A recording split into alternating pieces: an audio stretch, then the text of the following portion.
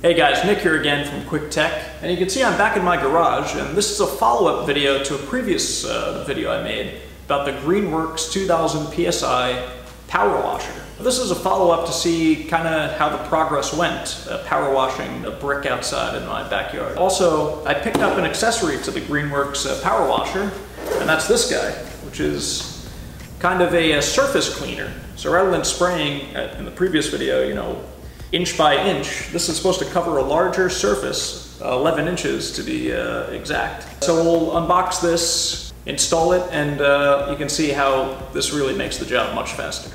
Uh, this was only about uh, $29 at Lowe's, so uh, all in with the power washer and this accessory, we're looking at less than 200 bucks, which I think is a decent deal. We don't even need a box cutter, actually. Pops right open. It's by the same company, Greenworks, so it should work fine. And inside the box is just the uh, item and some paperwork. So, kind of a boring unboxing, so let's uh, put it to work. So the surface cleaner I would recommend using on flat surfaces only. You can see since a lot of my outside bricks aren't level due to the elements, the surface cleaner isn't really doing as good a job as it would on something a bit more flat like concrete. That being said, it's best to go over the area in a smooth, slow pace, as rushing this tool across the surface will not only make things uneven with potential striping, but also risks lifting the unit from the surface. This tool also leaves a lot of water behind, so much so that I needed to spray it downhill using a nozzle attachment before proceeding any further. You'll also see the absurd amount of filth it successfully lifted from the pavers in such a short time. The chunks of dirt you're seeing are actually pieces of moss that were growing in between each brick. So let's see the surface cleaner do its thing in quadruple time, before switching to a spray nozzle.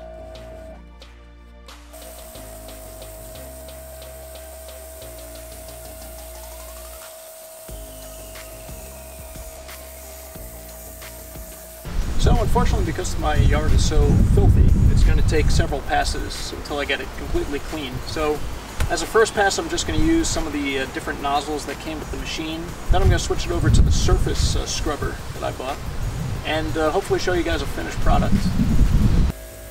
So because my outside pavers were so completely filthy, after a pass with the surface cleaner, there was so much moss and excess filth left behind that I really needed to go over the area again with a wider spray nozzle, just to keep the dirt moving along and prevent it from pooling.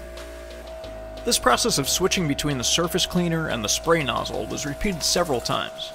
And while the surface cleaner definitely cleans a wider area faster, I'd say the results are around 70% of what a dedicated spray nozzle can accomplish. That being in double the time. You can see here now that I've switched back to the turbo nozzle shown in part 1 of the series. All in all, if you want perfect results, Nothing is going to beat manually spraying inch by inch with a spray nozzle attachment.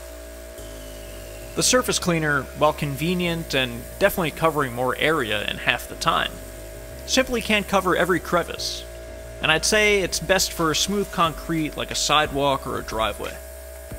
If you do decide to pick up the surface cleaner, I'll have a link down below in the description. I would do one pass with it, and then switch to a spray nozzle for any finishing touches.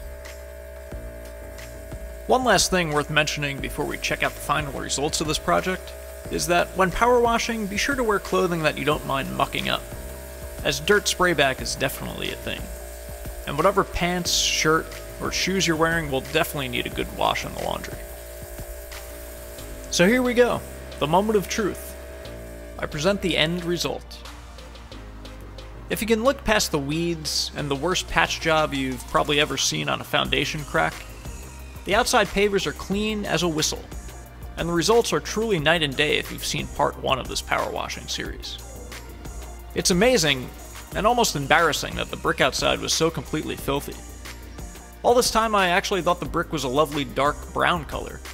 Who knew it was actually light red? So I'll let the results speak for themselves. You can see the Greenworks pressure washer did a great job on the deck, the brick, and oh yeah, as for my IKEA sanding project, well, the turbo nozzle made quick work of removing the existing peeling stain, and I was able to toss on a fresh coat, which only adds to the appeal of our outdoor space. So I hope you enjoyed this two-part series. And while my channel is mostly focused on tech, I invite you to hit that like button and subscribe, as I'm going to be unboxing and reviewing a lot more items for the home. If you have any questions on the power washer or any of its attachments or nozzles, leave me a comment down below and I'll be sure to reply.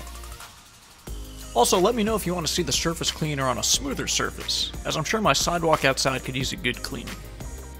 Again, links to the pressure washer, surface cleaner, and other cool accessories will be down below. So I'll just leave off with some short clips of what the backyard looked like before. And you can see it really is amazing what the Greenwork surface cleaner and spray nozzles were able to do. These tools literally helped me reclaim my backyard living space. Well, that's about it for me. As always, this has been Nick from Quick Tech, and hopefully, we'll see you in the next one.